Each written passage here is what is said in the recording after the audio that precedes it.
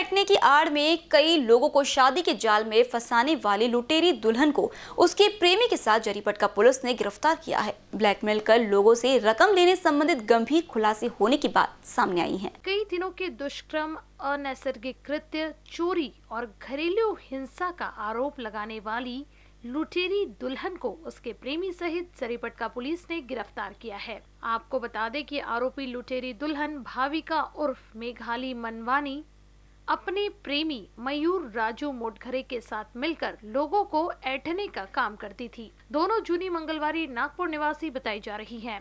तो वहीं मेघाली के बारे में बताया जा रहा है कि उसने अपने प्रेम जाल में फांस कर कई लोगों से शादी की।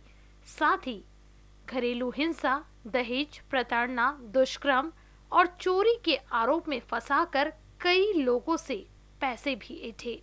जरीपटका नंदनवन बुट्टीबोरी वर्धा ज़िले के सेवाग्राम और पुलगांव थाने में ऐसे ही झूठे मामले उस पर दर्ज किए गए हैं। महेंद्र वनवानी से आ, मुलाकात हुई कड़मना मार्केट में। वो सब्ज़ी बेचने का सब्ज़ी का बड़ा डीलर था डीलर है। उसके साथ उसके साथ पहचान हुई पहचान आगे बढ़ी। बाद में फिर अचानक एक दिन ये इसके घर में आई है महेंद्र वनवानी के घर में और बोलती है कि शादी करो या तो फिर तुमको तुम्हारे खिलाफ़ मैं कंप्लेंट करूँगी।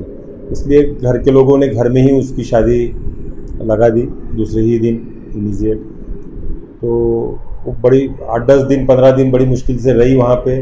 तो वो घर में फिर झगड़े होने लग गए तो उसकी वजह से ये महेंद्र वनवानी और वो लड़की जो मेघाली उर्फ़ भाविका वनवानी जो है, वो अलग से किराए के घर में रहने लग गए।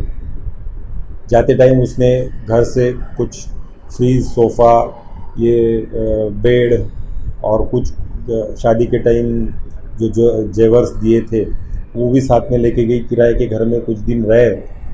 और रहने के बाद वहाँ किराए के घर में रहते हुए उसने महेंद्र की, महेंद्र वनवानी जो कंप्लेनेंट है उसके खिलाफ में तीन सौ सतहत्तर और उसके घर के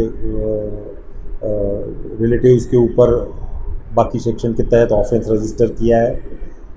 पहला ऑफेंस रजिस्टर हुआ बाद में फिर दूसरा और उसके जमानत पे आ गया, फिर और उसको साथ में रहने लगा, दूसरा और ऑफेंस रजिस्टर हुआ। दरअसल इस मामले का खुलासा कुछ महीने पहले कलमना मार्केट में कार्यरत थोक सब्ज़ी विक्रेता महेंद्र रमेश लाल मनवानी, हुड़को कॉलोनी, जरीपट का निवासी भी मेघाली के प्रेम जाल में फंस गया था। बाद में मेघाली ने दुष्कर्म के मामले में उसे फंसाने की धमकी देकर उससे जैसे तैसे शादी कर ली। लेकिन बाद में मेघाली ने दहेज प्रताड़ना अनैसर्गिक कृत्य और मारपीट करने का मामला महेंद्र और उसके परिवार के सदस्यों के खिलाफ दर्ज किया। तो इधर महेंद्र को गिरफ़्तार कर जेल भेजा गया। शातिर दिमाग मेघाली जेल तक जा पहुँची और महेंद्र को यह कहकर धमकाया कि उसे चार लाख रुपए नहीं मिले तो उसकी जमानत नहीं होने देंगे। इसके बाद महेंद्र ने अपने पिता से रकम मांगा। मेघाली की दहशत में आकर महेंद्र ने उसे किश्तों में दो लाख दस हज़ार रूपए दिए। इधर मानसिक रूप से त्रस्त, जेल से बाहर आने के बाद महेंद्र ने जरीपटका थाने के वरिष्ठ निरीक्षक संतोष बकाल को अपनी आप बीती सुनाई। इस मामले की गंभीरता को देखते हुए उन्होंने मंगलवार की सुबह मेघाली और मयूर को गिरफ़्तार कर उनसे पूरी जानकारी हासिल की। गौरतलब रहे कि मेघाली ने अभी तक कई लोगों का बसा बसाया घर।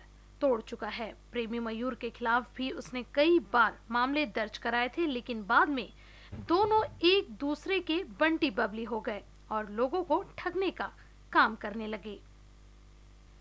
इन न्यूज़ के लिए अखिलेश भारद्वाज के साथ रूपा पंडित की रिपोर्ट।